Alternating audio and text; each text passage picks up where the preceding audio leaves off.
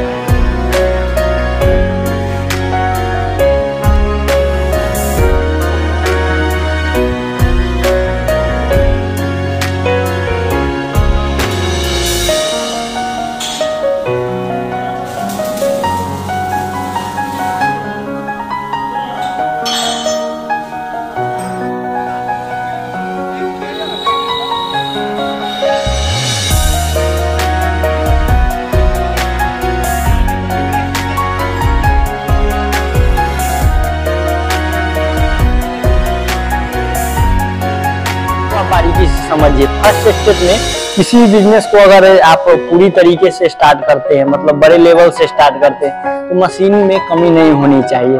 और एक सही तालमेल और सही सजेशन जो है तालमेल किस्टा इंटरप्राइजेज की ओर से मिलती है। तो कहना क्या है कि पेपर लेमिनेशन मशीन में सबसे फ़र्स्ट में इसका जो रॉ मटेरियल होता है वो रेडी होगा।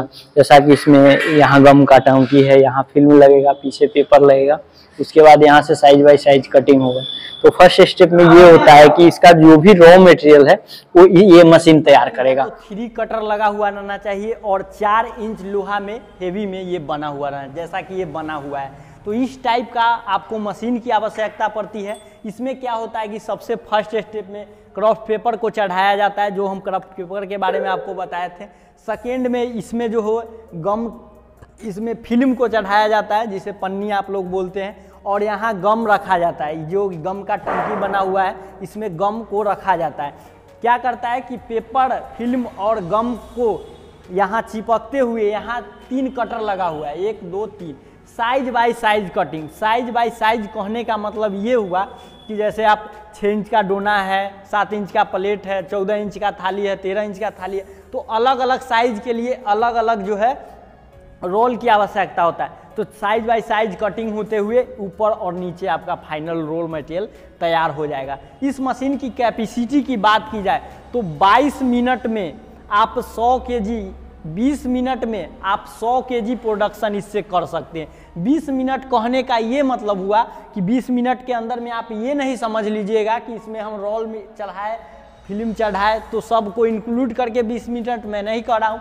सब कुछ रेडी करने के बाद आप मशीन को रन करते हैं और रेगुलर रन 20 मिनट तक कीजिएगा तो इस मशीन से 100 के जी रॉ मटेरियल आप प्रोडक्शन कर पाइएगा।